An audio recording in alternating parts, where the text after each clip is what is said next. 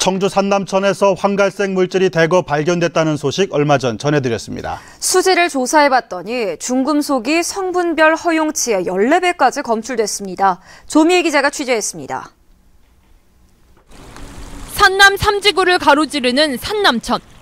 하천 구석구석마다 황갈색 물질이 바닥을 뒤덮었고 침전물이 하천수에 섞여 천천히 떠내려갑니다. MBC 보도 이후 청주 서원구청이 충북 환경보건연구원에 하천수 성분 분석을 의뢰한 결과 중금속이 다량 검출됐습니다.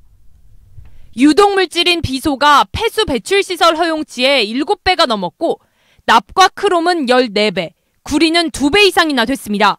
주거 지역에서는 볼 수 없는 그런 수치들이고요. 공장 있는 산업단지에서 볼 수가 있는데 사고라든지 이런 거를 통해서 발생할 수 있을 정도의 산남천은 미평천과 만나 무심천을 따라 미호천까지 흘러갑니다. 이들 하천 생태계에 큰 위협이 되고 있습니다. 중금속 성분은 확인됐지만 어떻게 유입됐는지 경로는 아직 밝혀지지 않았습니다. 누군가 폐기물을 의도적으로 버렸거나 우수관의 결함으로 오염물질이 흘러들어왔을 가능성이 제기되고 있습니다.